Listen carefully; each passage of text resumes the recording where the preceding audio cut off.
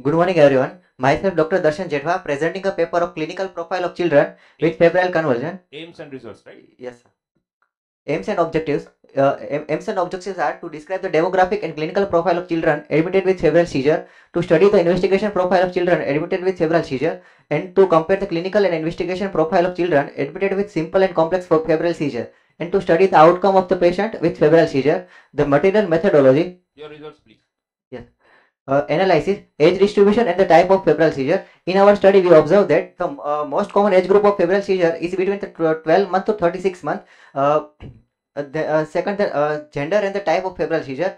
In our study, we observed that uh, in, uh, simple febrile seizure is most common in male and the complex feb- febrile seizure are more common in female. That is, the male and female ratio was uh, 2 gem 1 in simple simple febrile seizure and the male and female ratio was 0.2 gem 1 in complex. Jump to the summary.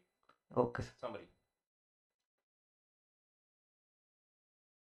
Uh, despite the benign nature, febrile seizure can extremely frightening and emotionally traumatic for the patient and condition cause uh, undue anxiety and panic to parents. The most common type of febrile seizure was the simple febrile seizure, predominantly affecting male child. Uh, the complex fe- febrile seizure was co- more was common in female.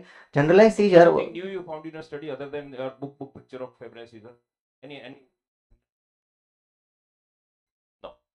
Newer definition of febrile seizure. Any age group variation now? Six Six, months and you know five years. six months to six years. Uh, What is the new concept? Is sir, uh, uh, febrile plus seizure are included in IAP guidelines. Febrile plus uh, uh, after after this. Uh, whole child throwing febrile seizure. Febrile seizure.